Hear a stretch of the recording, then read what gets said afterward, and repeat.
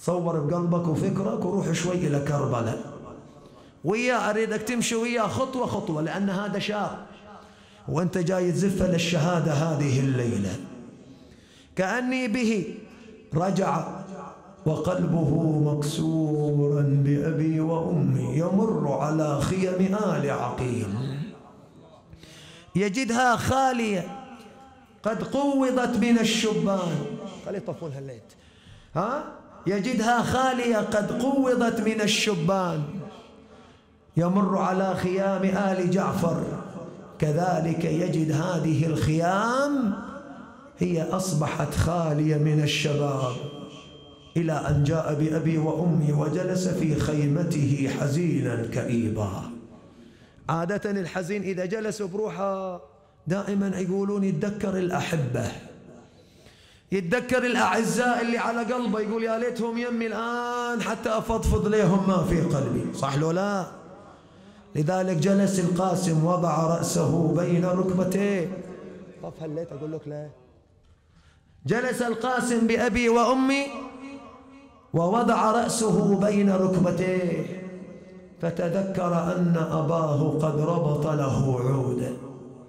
قال بني إذا أصابك هم أو غم فعليك بفك هذه العودة وقراءتها وتنفيذ ما فيها.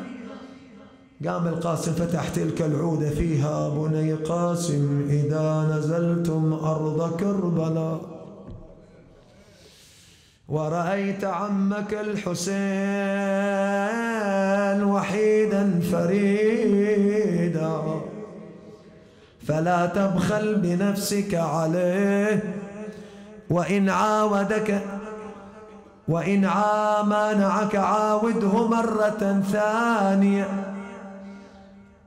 فرح فرح القاسم فرحا شديدا لأنه قد حصل على هذه الرخصة. إجا مسرع إلى عمه الحسين ينادي عماه سيدي ومولاي أبا عبد الله. شعندك بويا يقول له لقد حصلت على الرخصة. قال ليش عندك؟ قال عندي وصية من أخيك الحسن. أخذها الحسين ما إن رأى خط أخاه سالت دموعه على خدوده. يلا يا حبيبي توجه ويا إمامك الحسين توجه إلى ناحية المدينة. سلم على أبو محمد يقول له السلام عليك. وينك؟ وين صوتك؟ سلم على إمامك. السلام عليك. يا سيدي ويا مولاي يا أبا محمد. تنصرني حيا وميتا. حسين عمي يا شفية إي حبيبي الله يعودك. ما غابت هالأصوات. يا حسين عمي يا شفية يا مدلل الزهرة الزكية أبويا الحسن أوصى عليّ. كتب لي العودة وقال لي لين وصلت الغاب شفت المصايب مستوية دافع عن بنات الزكي يقول اوصاك واوصاني بوصية. مثل ما وصاك وصاني. يا خويا قبل وقع البنية يا خويا قبل وقع المنية وقبل الذبح بالغاب. غاضرية. زوج الجاسم بالزكية. أخذها من إيده وين راح؟ راح إلى خيمة زينب. تريد تتوجه أنت؟ غمض عيونك وشوي وطاطا راسك حبيبي. حتى تتمثل المصيبة وتتفاعل. أو الله يعودك. إجا إلى خيمة زينب تصور أنت الحادثة حبيبي. نادى أخته زينب قالت لبيك. قال علي بالصندوق الفلاني. هي تعرف هالصندوق فيه أغراض أخوها الحسن. عمامته رداءه وصيته جاءت تحمل ذلك الصندوق. وإذا بالحسين واقف عند باب الخيمة مجود القاسم من إيده. قل ليش عندك؟ أبو علي شو تريد تسوي؟ قومي يا زينب للحسن أدي يحقوق. أعيد عليك حتى أسمع صوتك. ها قومي يا زينب للحسن أدي يحقوق. نصبي الخيمة ونشفي دمعك المذروف صاحت بزينها بخلي الجيب مشقوق وأصيح الريسك يا سكنة ذابح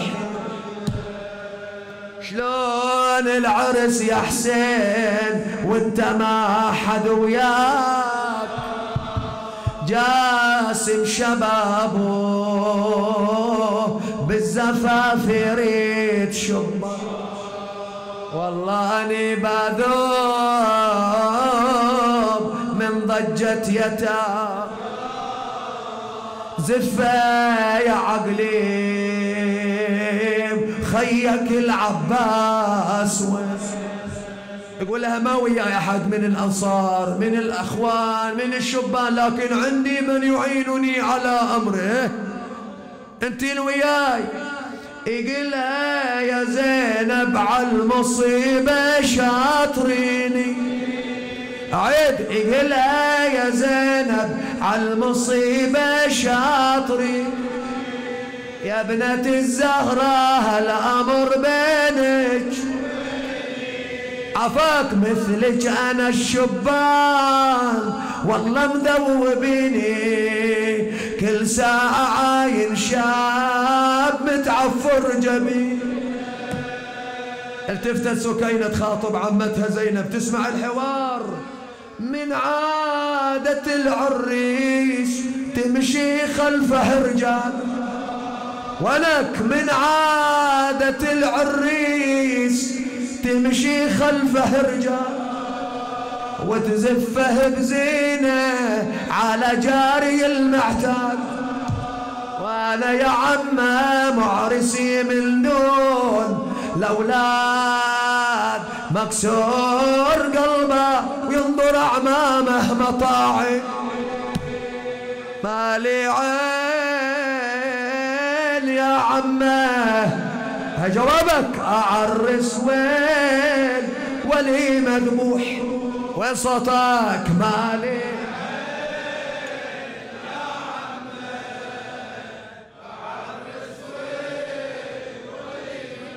بعد مرة مالي عين. شغلة.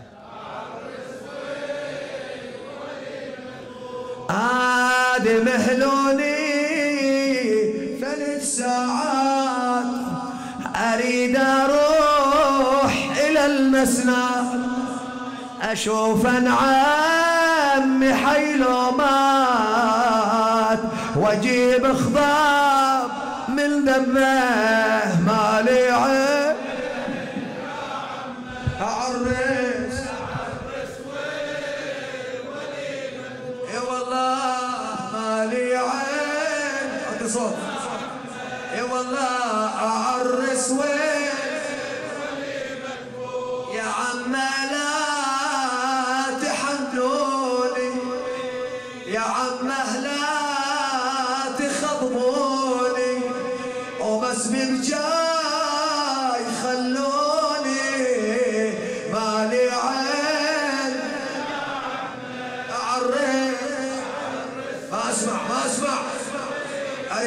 يا شباب مالي عين.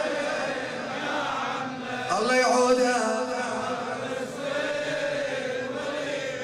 والله يا عم لو يخلوني على لا روح للي مقطعين بجاه. من دم نحرا لاخذه بشمالي حاول له يا عم الخيل الصيام ثم أخذ القاسم جاء به إلى ناحية المشرعة يلي على النهار نايم. انهض يا قمر هاشم تعال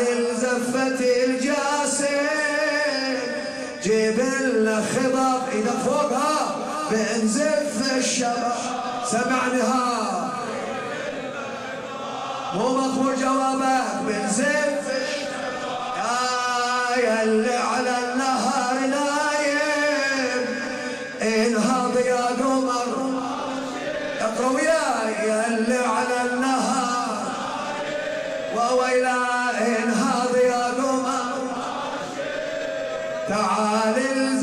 الجاسم جيب وين صوتك يا حبيبي. لا تستحي ها. اسمع اسمع يلي السهم في عينه أخوك أنت الذي تعينه يلي السهم في عينه أخوك أنت الذي تعينه.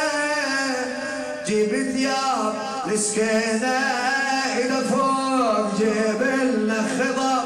أريد أسمع. إي والله جيب عفاك.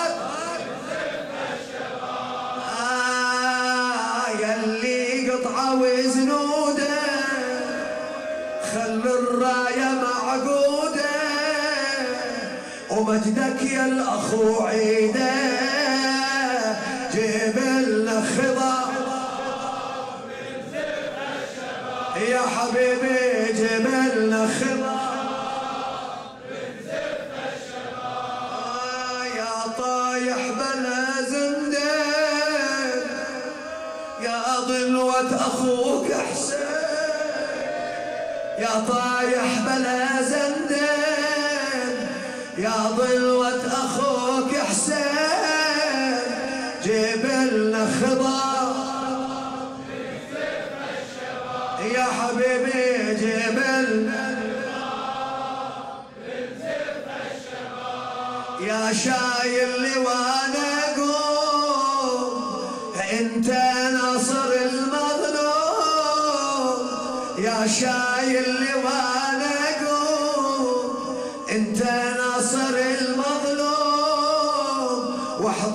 زفته اليوم جيب لنا خضر. سبعة سبعة.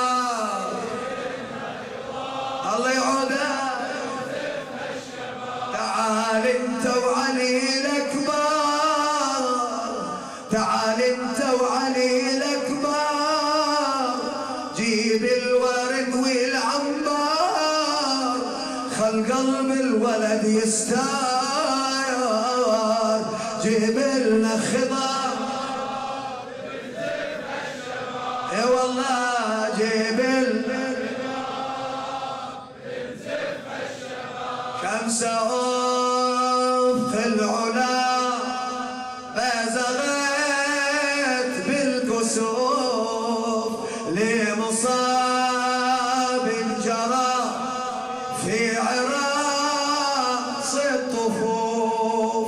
آه وقاسمة جوابه. في عراق آه وقاسمة لا تبخل ها.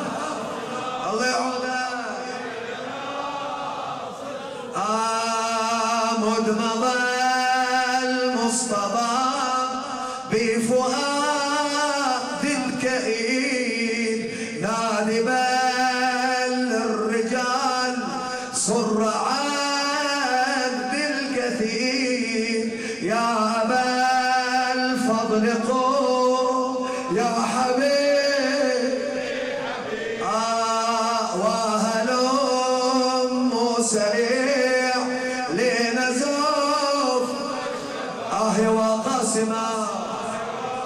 أسمع. في عراس. سمعني. ها.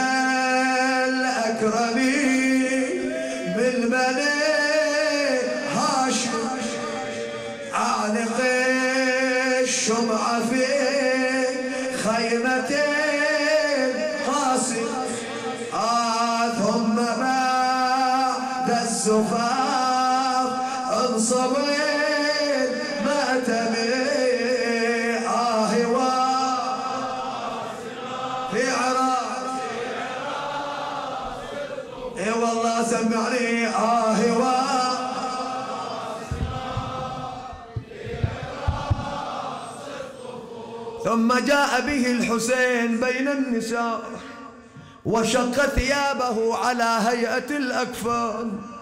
لما مثل أمام النساء تصارخن في وجهه وحسنا. إجت أم أم رملة وقفت الطالعة. شافت عليه عمامة الحسن لكن الثياب اللي عليه كهيئة الأكفان. إيش قالت يا حبيبي؟ عندك من الشباب ما ودعتهم الأمهات. ثوب العرس يا جاسم مثل الجفن تفصيل. ساعة بعرس يا جاسم.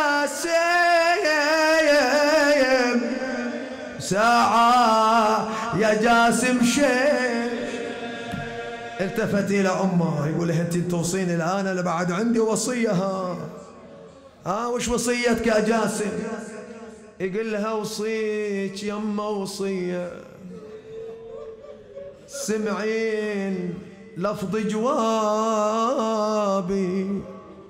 شبان لو شفتيهم. ذكري يا يما محروم محروم من شم الهوى. من دون كل أصحابي. وأنا العرس ما اريده ويم القبر زفوه رملة ما بين النساء تلطم صدرها معولة. ردت أنا في الولد ما بين قومه وكل هلا ما دريت يصير عرس ابني بوادي كربلاء. ينظر عمامه واخوته على الصعيد مجدله هذا موقف يا شيعة لكن هناك موقف آخر. هذا عندما ودعته إلى الشهادة. لكن هناك موقف آخر عندما جاء به الحسين ووضعه في خيمة القتلى. جاب ومدد ما بين اخوه وين صوتك جاب ومد قعد عيدهم يا ويلي هم بس ما سمع عن النسوان. اجت زينب تصيح الله. أوجع وياي شوي.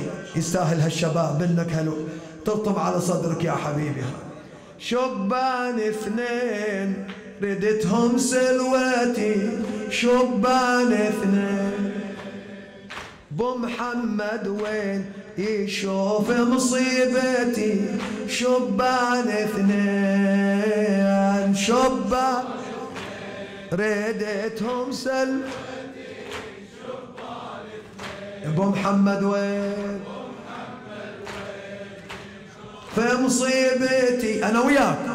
بس سمعني صوتك حبيبي. ها شبان اثنين. ريدتهم سلوى أبو محمد وين؟ يشوف مصيبتي. شب بعد حتى تحفظ شبان اثنين وويلا أبو محمد يشوف مصيبتي. عيني اليمنى يا جاسم فارقت عيني ضواها. واحمد اليسرى يا وسفة والسهم صقها وعماها.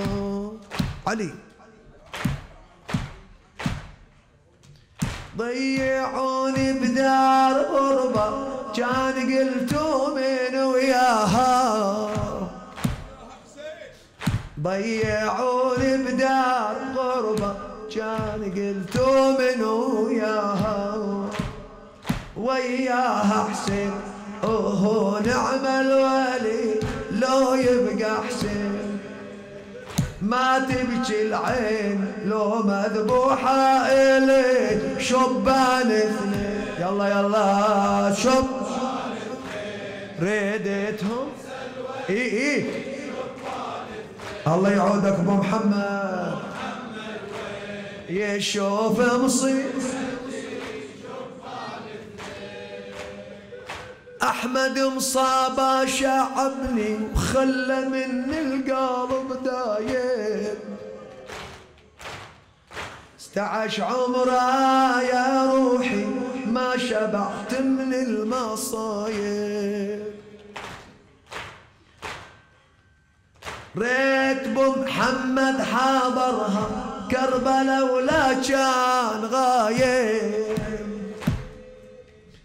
ريت بو محمد حاضرها. كربلا ولا كان غايب. ينظر بالعين ما صايب كربلا تلوي حسين. وأنا الصوبين احداي مجدله شبان اثنين آه شبان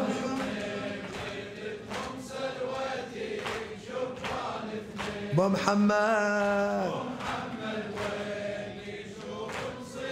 بيت الدعاء.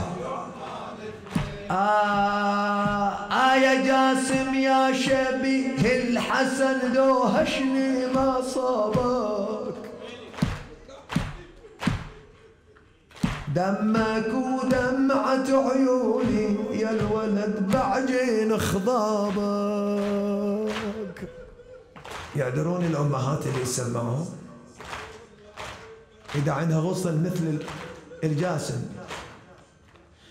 يا غصن بان التلوى وانقصف نبع الشباب يا غصن بان التلوى وانقصف نبعة شباب خابت ظنوني يا جاسم وانقطع منك نصيبي. من يطفي نار قلبي ومن يدليني يدروبي كبدي جرحي وهي متمردة فقد الغصن ويا من مددة شبان اثنين. يلا شب.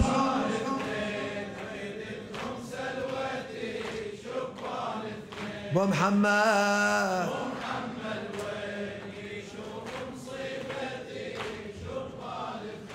ولا مال ولا مال. يا جاسم خابت ظنوني ولا مال رددتك لا ردت دنيا. ولا مال اتحضر لي لو وقع حملي. ولا مال يا ابني وقت الضيم يا ابني قطعت بيا. اي والله يا ابني وقت الضيم يا ابني قطعت